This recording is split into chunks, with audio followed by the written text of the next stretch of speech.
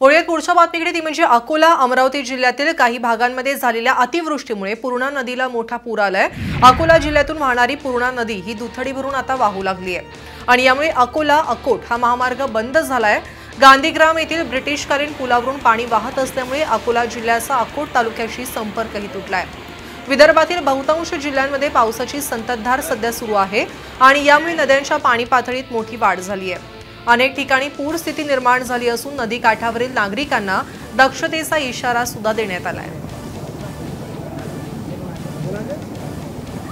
नमस्कार मी सुरेंद्र राऊत ठाणेदार पोलीस स्टेशन दयांडा अकोला.